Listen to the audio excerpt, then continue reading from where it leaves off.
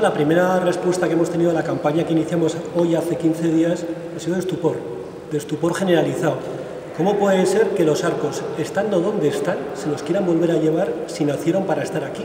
Y donde realmente lucen con todo su esplendor es aquí y viéndolos directamente.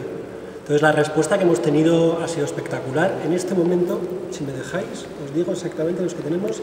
Tenemos 21.231 personas las que han apoyado la campaña. Una campaña llena de sentido común, de sentido común, de racionalidad, de respeto al patrimonio aragonés y de respeto, y evidentemente de respeto a la dignidad del conjunto de los aragoneses.